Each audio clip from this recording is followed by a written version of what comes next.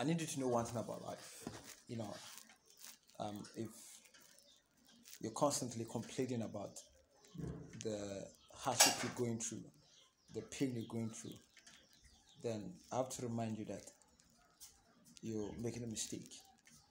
Stop using the time to complain. Make the effort to, to create a new life for yourself. Do new things, things that are worthy, things that will bring you your happiness.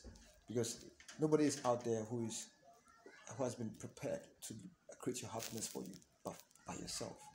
And nobody actually knows who you are to provide you the best of what you need. So as I'm telling sitting right here, I know that I have let you know that there's nothing that comes easy. There's nothing, not education, not employment, not um, food, not shelter. Nothing comes easy. Whatever we have, others also want them, and it's like that in this world. However, what you should do, which will help you, is to get onto it. ride, ride life. Don't let life ride you, because you have been created to ride life. Have a blessed day.